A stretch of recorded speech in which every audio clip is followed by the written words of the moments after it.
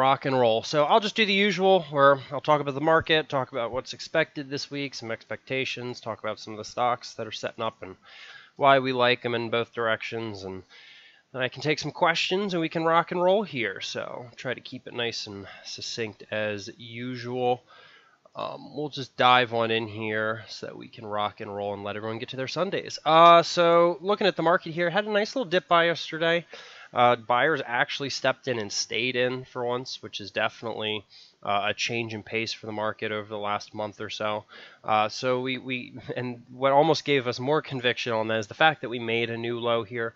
I mean that's just perfect market mo right there in terms of uh, making a new low, stopping people out, little look below and then go. Uh, whether we think that this is going to be a sustained move up or not is going to remain to be the question uh, because we'll have to see where we are on Monday. Obviously, we've had no progress on debt ceiling or anything of that nature uh, through the weekend. So, does the market care? Has the market started to worry about that yet? That's going to be the question. Obviously, looking at uh, some of the commodities out there, it doesn't feel like the market's uh, worrying yet. Obviously, dollar's still sitting pretty elevated up here. The dollar wouldn't be up here probably if uh, if the market was actually worried about us defaulting on our debts. Um, so we'll see as we get closer and closer to October 18th, which is X date. Uh, that is in that's in another two weeks. So they're likely going to figure their shit out in two weeks. Um, they're not shutting down, so at that point, it's just you know what's the market going to do technically. So we got to be watching. Uh, the levels in the meantime, I, we, I wouldn't be surprised if the 50, if we did get up there this week, if it turned into a brief lid, uh, did the same kind of thing it did last time we touched that. So going into the hourly here, you know, we kind of dipped, did a little step up, and then uh, bounced off this 50, which was also kind of a bit of a volume node in here, and then had a retracement. So. Uh, where we're opening up, if we open up here off of that rebound on Friday, we're going to be right uh, uh, kind of above this little dip point here from August. Um, and it's it's not the best level, so I can't really put too much stock in it. So we're really gonna have to see what happens. Uh, one thing I did want to note is that uh, it's we we've had a green day, so I'm not gonna I'm not gonna be flooring the buy button, but it's definitely time to watch. Um, IWM, especially the value plays, did another little dip below the 200 day. Every time we seem to be doing that, uh, the value plays seem to rocket out. Uh, a couple of the plays I'll be showing are value plays, and they are showing that strength again. So it's possible that we see value try to step in here and push out again. Got a little rocket out, got a little rocket out before the market uh, crashed back lower. Now, obviously, a lot will also be watching on rates because we had a significant little pullback in rates on Friday, which definitely helped the markets get a little bit of elevation there. If the if the rates uh, continue to drop, then we'll probably continue to see the market get a little bit of breathing room uh, as it reapproaches the 50 day. So, you know, the velocity of these rates rising over the last week was something that really kind of uh, wasn't wasn't helpful in terms of the market uh, staying up there. So that's really it. I think this this week uh, we do have an important number on Friday. Obviously, we have the employment situation. Uh, we have absolutely no progress in the jobs market. I'd argue over the last several months here. I mean, we've had little trickles uh, in the right direction in terms of jobless claims and so on. But I mean, this last jobless claim report was you know seven week lows or, or several month lows. I can't even remember how ter- or highs rather. I can't remember how terrible it was. But uh, this jobs number jobless claim is going to be pretty important. Obviously, uh, it's going to be one of the fewer ones that you know we're getting less and less uh, jobs numbers before we have that expected taper November meeting. Uh, so. You know, if, if Powell's actually watching the jobs report as closely as they say in those labor numbers, it's going to be an important one because the last JOLTS job and labor turnover survey showed that we have uh, twice as many job openings as we do actual unemployed workers. So it's going to be interesting to watch uh, how that continues to shape up. Plus, on top of that, you've got the economic uncertainty, the stagflation concerns, things like that. Um, and then on top of that, you've got the three kind of uh, you know the three horsemen of the market right now: Evergrande, the energy crisis, and the debt ceiling. Um, that's kind of the three things that I'm focusing on. I don't even think markets even thinking about tapering um, you've got the energy crisis, obviously, that's still mostly contained in Europe and China. Obviously, those affect the supply chain themselves, um, but they're saying that this this uh, energy crisis in Europe is likely going to cause a lot of closures, cause some weakness in the economy in, in Europe, uh, because uh, right now, going into the front end of winter here, energy costs there are six times what they normally are. So it's going to be very, very costly to continue to heat factories and continue to do a lot of stuff like that. So you're going to see a lot of those companies get their margins squeezed. Some of them may shut down to save costs uh, on days that they don't need to. So I'm sure that's going to uh, further constrain an already uh, constrained supply chain. Uh, and then obviously China is doing what it can to stave off over 50% of their uh, provinces experiencing rolling blackouts and energy con uh, conservation. So we'll have to see how that progresses. That there was no real new headlines there yet. Evergrande, obviously, we still have some time as well until we figure out what happens on the hard default date with the dollar bonds. Um, and then you've got the debt ceiling, obviously. I put a little video out yesterday for people who didn't know anything about it. There was uh, some misconceptions and stuff out there. Again, I don't think the market's going to do uh, is is too worried about that. We've got two weeks, and I even mentioned at the end they've got some like Plan B options. Uh, for those who haven't watched it, uh, there's a couple Plan B options. I mean, obviously the president can try to declare it unconstitutional, say it's against the 14th Amendment, U.S. debt cannot be questioned, and do, take care of it, let the courts decide it. He could also, uh, th- there was a, a, an alternative that the Democrats could have used, which is a, a special kind of of uh, legislature, but that takes too long now at this point. They waited too long. It, would, it typically takes three to four weeks to go through. And then there's the other one, which is my favorite, that uh, I thought was pretty interesting, is that the Treasury technically has the power to mint coins, uh, commemorative coins, and then they get to set the denomination of those coins. So people are saying if the Treasury just decides to mint a trillion dollar coin, and say, hey, this the, the denomination of this coin is a trillion dollars, they can then go to the Fed, say, here's this coin, uh, Daddy Powell. I would like a, a, trillion dollars of the treasury bills that you hold because the, the Fed holds about 14% of our treasury bill debt. And then there you go. The debt ceiling is immediately kind of lifted a little bit by that trillion dollars because the treasury has now regained some of that debt. And it's not inflationary because no money's been added to the system. And no real money's been changed. It's just a little accounting within congress from the treasury to the fed. So they accidentally gave the treasury uh, some money power there without realizing back in the 90s uh, when they gave them that minting option. So that is an option that was actually weighed during the Obama administration. They were able to figure their shit out before then. We'll probably figure it out this time, not even need it, but there are some interesting options to watch out there. So I don't think the market's too worried about that. So anyway. I digress. Um, looking at the rest of the market, obviously Qs have been a little weaker than the rest of the market. We've seen rates rising, so that's partially uh, to blame. Uh, we are also seeing we are seeing rotation. You know, if you look at stocks like Apple, Apple, you know, almost pulling down to the 200. Amazon still below its 200. A lot of the tech stocks and just stocks in general that have been running got the wind taken out of their sails. Hell, even the uh, even the vaccine names finally coming off, things like that. And you've got a lot of the uh, compressed stocks, depressed stocks, you know, stocks that are obviously down in more value, they held up relatively well. Airlines are making new highs uh, over the last couple of months. Cruise lines holding up. Uh, Mike's Live Nation, that's exploding. There's a lot of stocks out there that are actually moving and grooving here. So there is strong stuff. There's strong sectors. Uh, if the rates turn around and start going back up, I would expect the financials to kind of rally here and continue to show that strength. Obviously, energy is exploding with natural gas price rising, oil, so on. So uh, that's what we see there. I'm um, looking at some of the commodities out there, uh, obviously, crude is about to break out for new highs. I expect that to continue. Uh, we're not getting too much uh, else other than this energy crisis. You know, OPEC has kind of chirped a couple times, so that's one thing to keep in mind. Is if they decide to open the taps again, uh, get off some of that inventory, you could see it just kind of maybe uh, flatline a little bit. Um, obviously, with the dollar kind of popping out there for a little bit, we're getting a pullback as is expected. Every time we seem to get an explosion in the dollar, you tend to get uh, a little bit at least of a pullback for a couple of days. So uh, I'm expecting that to largely continue as well and wait for all of this stuff to kind of figure itself out. And then you had Bitcoin explode on Friday. So Bitcoin's continuing to show that strength uh, which is pretty interesting. You know, Bitcoin uh, had these nice descending highs exploded through, uh, Ethereum as well, uh, both of which just really showed strength. I thought they might have come off on Friday since the market was rebounding.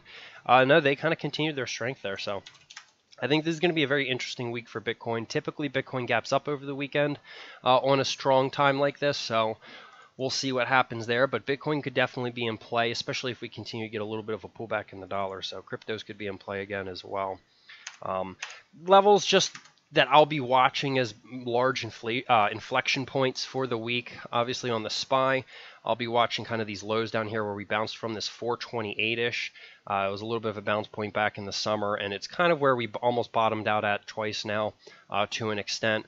My larger resistance that I need to see us get above and hold before I, feel a little more comfortable is going to be this 438. Uh, it was a lid for us several times over this last month, uh, and then when we got over it, it was support uh, for that ascent into the 50. And it was it was support during volume nodes uh, in the summer. So uh, once we get over that, then I'm looking at that 441, which is almost where the 50 day is anyway. So we'll see what happens when we get up there. Uh, how quickly we get up there is also going to be important. So we'll see on there. And then obviously the Qs have some stacked levels as well, uh, a little cleaner in terms of levels, in my opinion. You've kind of got this uh, 361.50ish, 362ish.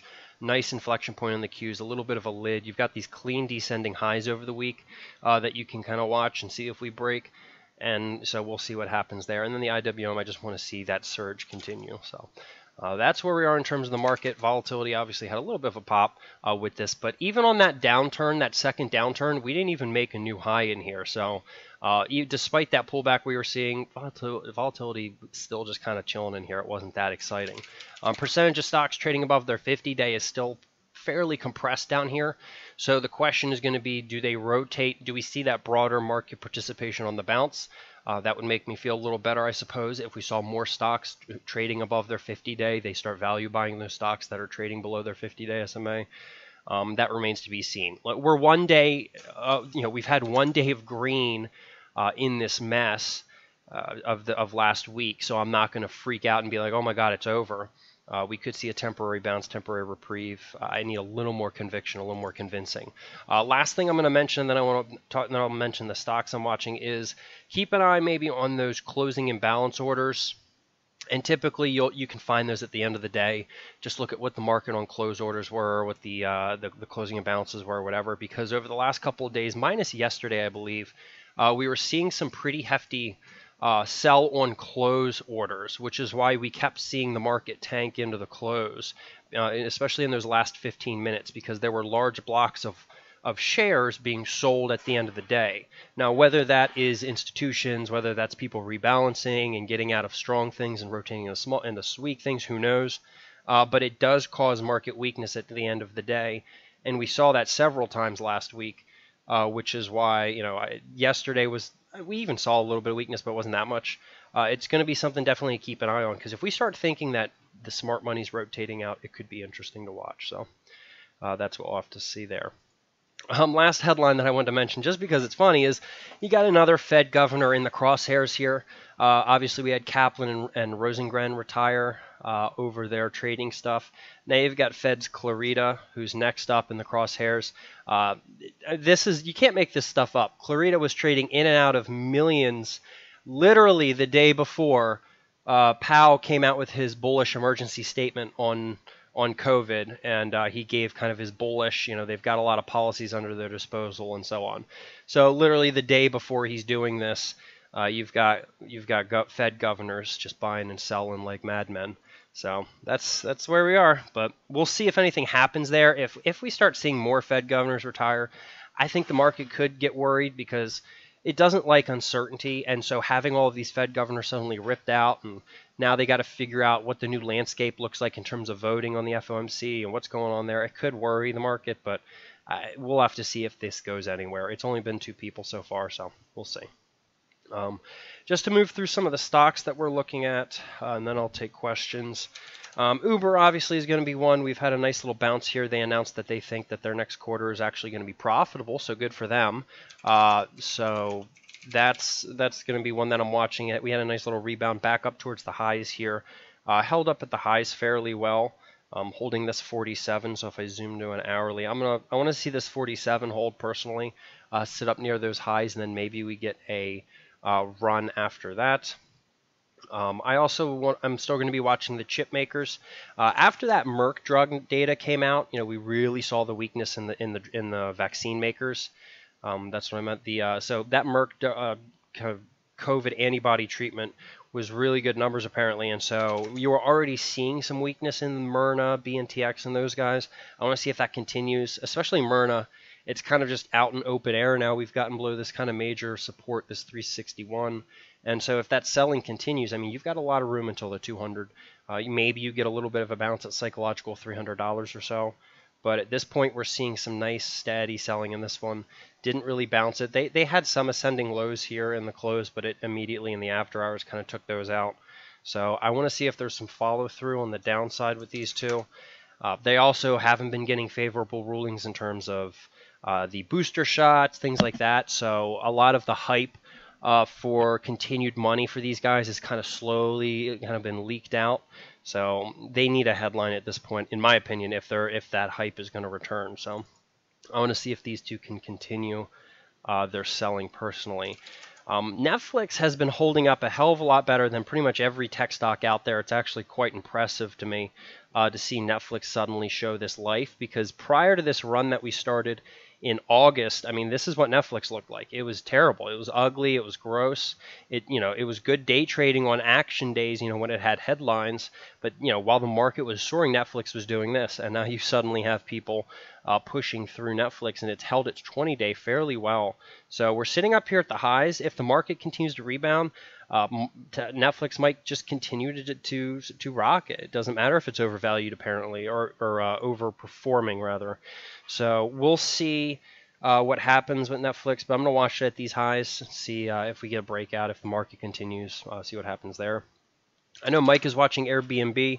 Uh, did have a nice little green day yesterday, bounced off the 20 day. The 200 day did just start getting calculated when they just start getting calculated like that, they may not be as hefty uh, of a level, but we'll see uh, what it ends up doing if it does test that. But I know Mike's looking for the continuation now through. We do have nice ascending lows here over the last month or two uh, from these lows. If I kind of draw the line, it almost touches perfectly several times now. So I do like those as kind of a trailing stop on you right now. If uh, I think that's probably what he's using as well. Obviously, I mentioned his Live Nation. Live Nation had a hell of a breakout. I mean, this is a perfect technical breakout. Aside from it being a value reopening play uh, that's getting a little bit of buying in here, it's it had a really nice strong day uh, on Friday. If I go to a weekly here, uh, you'll see it looks pretty strong on the weekly as well. You had nice ascending lows. We held the 20 day, and now we're bursting out. So I want to see continuation on this. He might he might look for a pullback to see if we get something or see if we get any kind of capitulation up there, but uh, it looks pretty good, uh, even from a day trader. Uh, yesterday was pretty clean and steady action, so uh, it looks it looks relatively good regardless. Um, he's watching CWH Camping World Holdings. Uh, technicals on this one are nice because it's it's held the 200 day very very well. Held the 200, held the 200, held the 200. Now we're sitting up here, kind of at this little lid here for September, this September high. So I think if this one breaks through and continues, you could get a nice little pop. Uh, maybe you see a little bit of resistance at this 44, but then after that, it's got a little room to run. Uh, if that one continues as well. He's watching ISEE. I don't know enough about this stock, um, but just when I was looking at it after he announced it to me uh, or, or, showed it to me before the meeting, uh, I, I like that, you know, we kind of broke out here, failed the breakout. Now we're returning back up here. I'm definitely more going to be, personally would be more of a wait and see if we can break this, because then if we don't, then it feels like it's setting up a head and shoulders. But, you know, we'll see if we can get through these highs. Um, it could be one uh, to watch if it does. I know he's still watching his Affirm. Um, volume's kind of descending on this one, so be careful. If, if the volume continues to drop off, it just might be kind of boring. Um, but when it runs, it really does take off. So I think he's just setting some alerts near the highs and, and holding off on that one. Uh, APPS held the 200 day very nicely. We had this nice little wedge breakout on it that we talked about. I think it was two weeks ago. Nice breakout through the 200. Well, since the market weakness, so we actually pulled back, held this level really well. So now you've got really nice manageable uh, risk against these lows, which also almost coincides with a little resistance over here. And so now what we want to see is us return back up here and continue to push through. Um, I'm not worried if the market rolls over with this one, just because it's clearly kind of trading on its own anyway. Um, you know, it's got a little bit of influence from the market, but it was compressed below the market while the market was soaring anyway. So I think that this one could go regardless. So we'll have to see.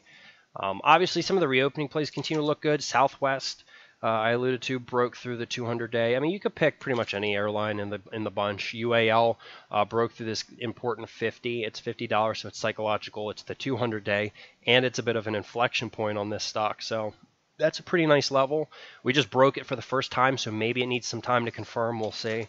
Uh, American Airlines was a little stronger, uh, already above the 200 day, but you've got a number of airlines you could watch Hawaiian Air over the 200 day, uh, Alaskan Air over the 200 day, uh, or just look at the ETF jets, which is pushing through. So, airlines kind of getting that rotation still, continuing to see it. Cruise lines, a little messy for me.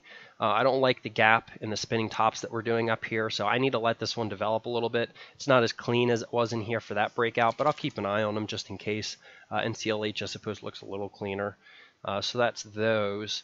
Um, LVS, I still like LVS. I really like these casino plays. This is a nice, clean, tight consolidation we're doing in here. We just had a little bit of a look below here, so now I want to see if maybe if we break these highs, I think you could at least maybe go for a gap fill on this.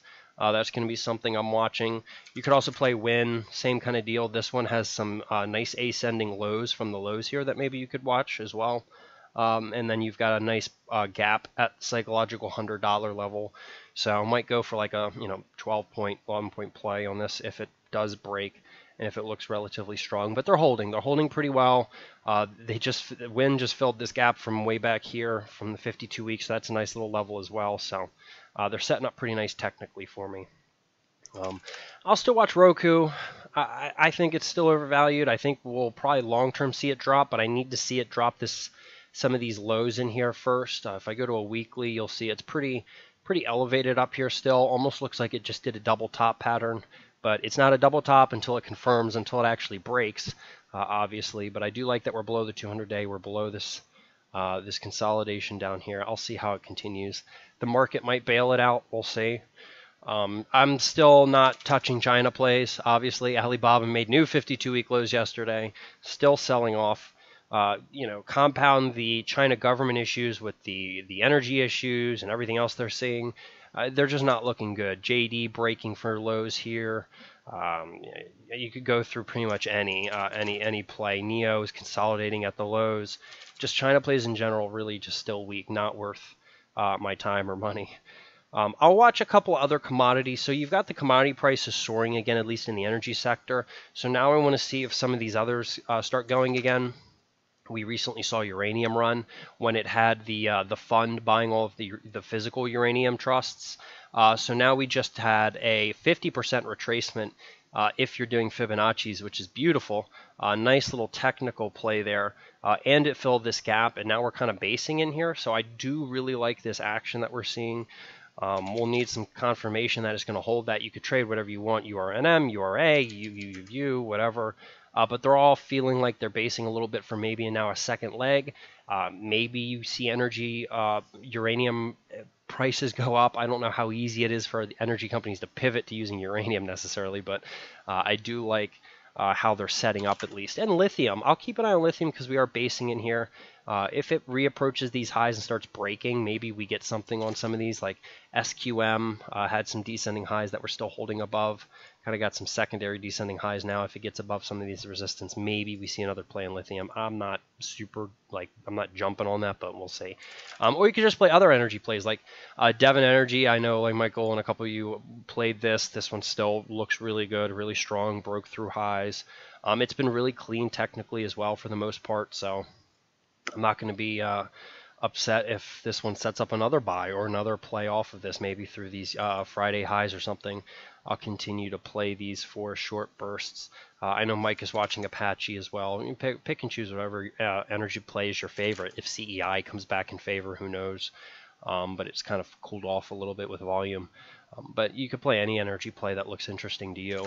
Um, I like this SI. Technically, it's a financial. They're in, they're in uh, stablecoin and and crypto in general, so they're kind of benefiting also from the the pop we had in crypto.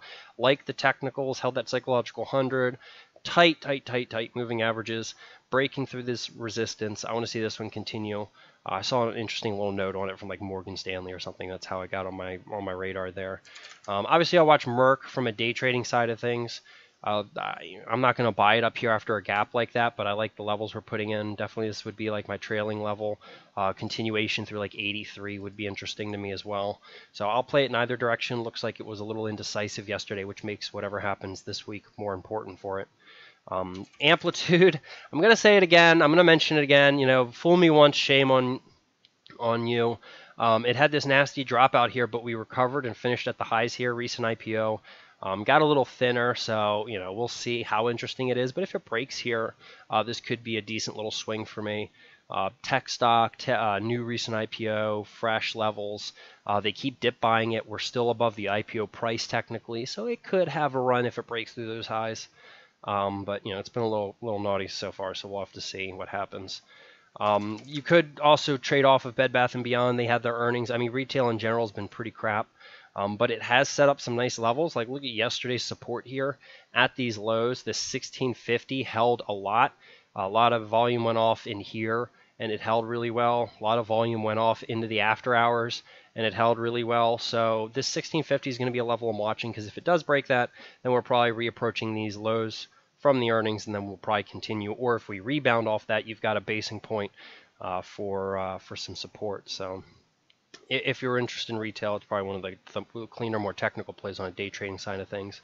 And uh, the last two stocks that I'll probably be watching, uh, car. So the Avis Avis budget. You've had several uh, rental car companies kind of bursting out. Uh, CarMax got a little bit of a, a knockback with earnings, but this car recovered nicely. It's back up at highs. Uh, I want to see if this one bursts out and continues its run. Uh, kind of elevated, kind of overbought, but I could see it maybe getting a burst. Uh, I am a little worried that RSI is kind of diverging, not making a new high here with it. So I'll have to watch that one closely. And then last one I'll mention is GoGo, because GoGo still showing life here. Uh, volumes holding relatively steady. I don't want to see that decline anymore. Uh, I don't know how much longer the market will watch it, but uh, we had the nice breakout day, had an inside basing day, and we're just kind of chopping higher. You have like a morning burst, move sideways, a little bit of a burst, move sideways. And last I saw before the close of after hours trading, we were sitting right up here at the highs. So I'll even just keep scalping these resistance levels in it. I don't care uh, if if I do happen to notice it. I didn't notice it for a lot in here, but uh, but you never know. Uh, we'll have to see. Other than that, there are stocks that are still setting up. I don't know if we get any of that stuff that I'm watching this week, so I'm not going to worry about it too much. I'll just set alerts, things like MU that had earnings, uh, things like Lucid that's been just kind of chopping around for the last week or two. Um, just I'm keeping an, an eye on these guys, but I'm not expecting much. So I'll just set alerts and, and periodically check back in them. So some of these may be affected by the market. Others, I'm really hoping are going to be a little more independent, so uh, we'll, we'll see. Um, but that's really it. Other than that, you've got you know just the slew of economic data. It's not going to be much except for the the big employment numbers. Uh, there's not much else, so hopefully it's a relatively quiet week if we're lucky. But uh, that is it. So yeah, that's my market analysis, and that's the stocks.